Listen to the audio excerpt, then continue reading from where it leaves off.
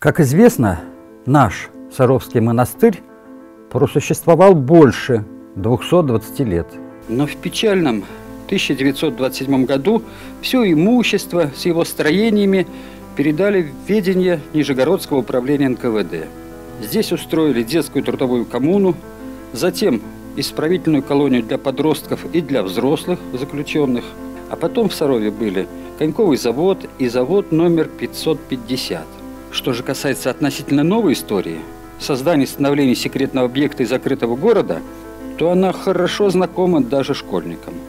Однако не все знают, что и после революции, в течение целого десятилетия, даже при советской власти, вплоть до самых своих последних дней, монастырь продолжал притягивать к себе тысячи людей.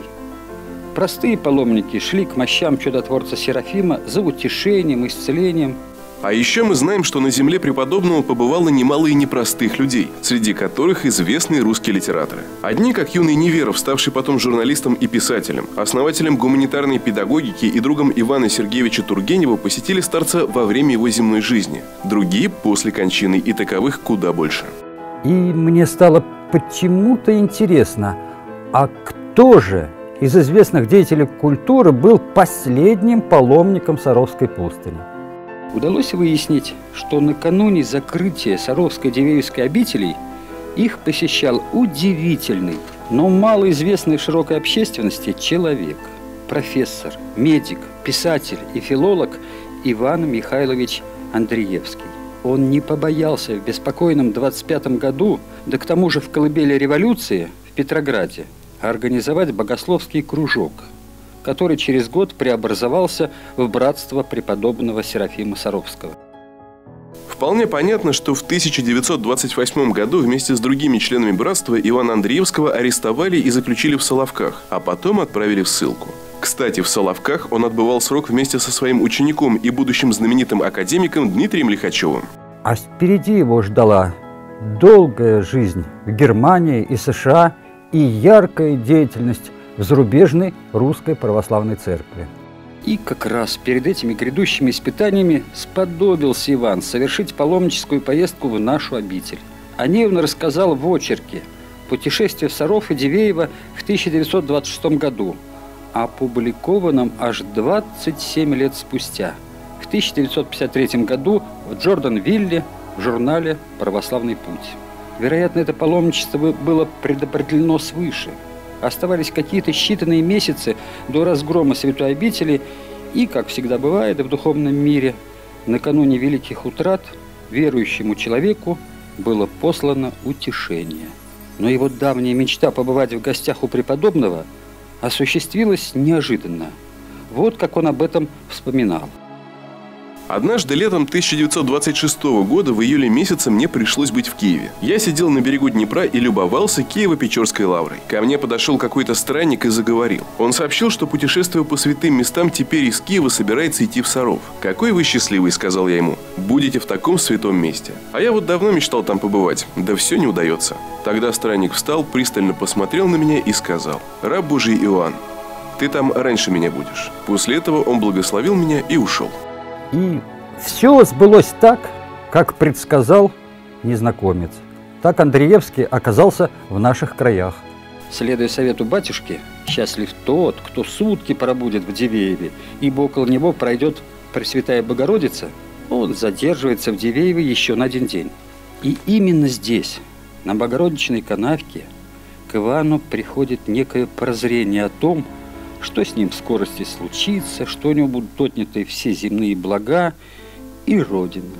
Можно сказать и по-другому. Обходя канавку, он родился духовно. И то озарение сопровождало все последующее творчество писателя. Позже Иван Михайлович создаст не одно произведение православных святых, прежде всего о преподобном Серафиме.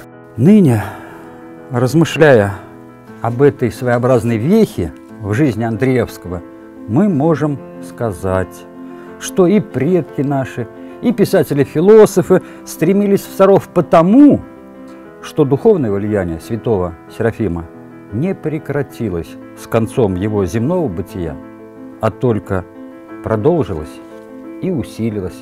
Очень точно об этом сказал протеерей Валентин Свинцицкий. Образ преподобного Серафима близок нам так потому, что мы чувствуем лучшее, что есть в самом русском народе. Он – это мы сами – но поднятый из грязи, очищенный подвигом, просветленный благодатью. Он не только близок нам, он наш родной. С тех пор много воды утекло. С тех пор жизнь страны кардинально изменилась.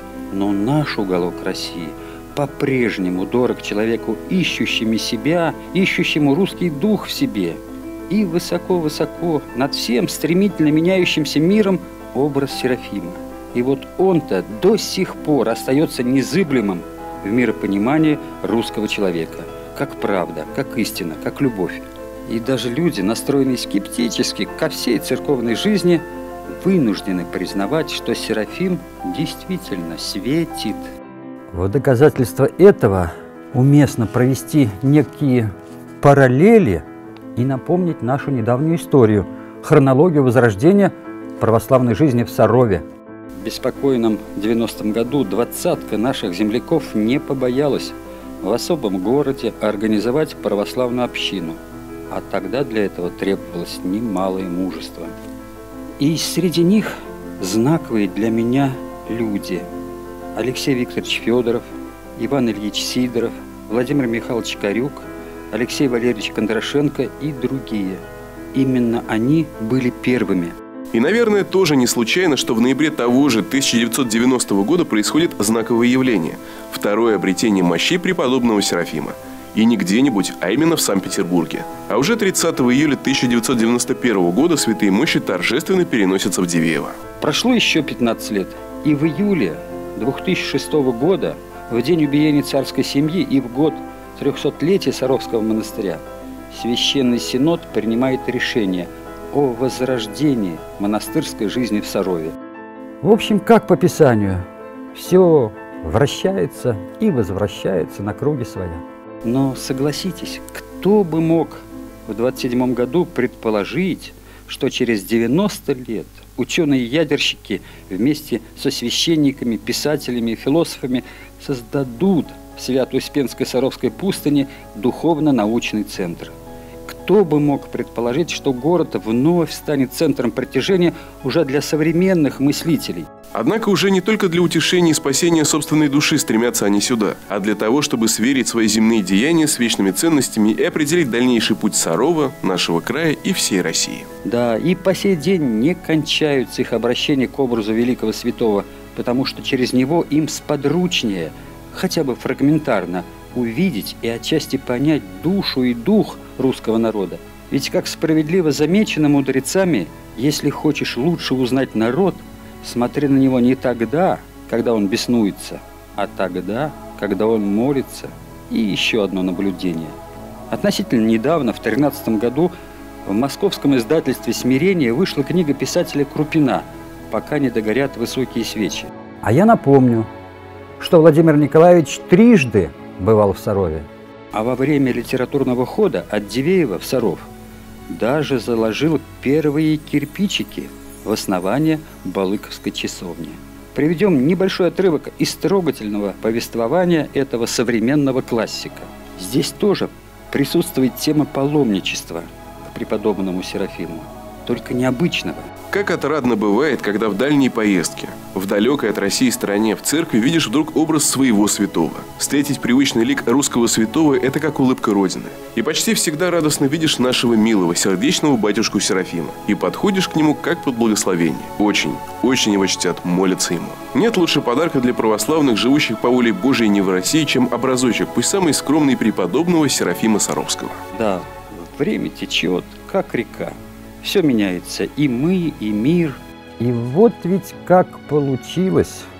Иван Андреевский был далеко не последним паломником на земле преподобного Серафима. И дай Бог, чтобы никогда не было последних.